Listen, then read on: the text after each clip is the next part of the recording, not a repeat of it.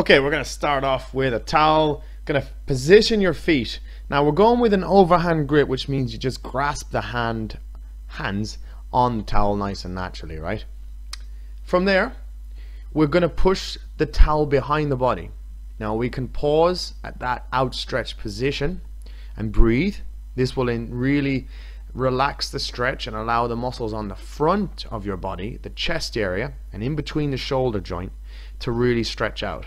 Now we're switching it to an underhand grip, which is simply take, turning your hand grip around on the towel, and this offers a slightly different stretch. Once again, there's more muscles involved in this one, a different uh, set of muscles. So breathe and explore the stretch.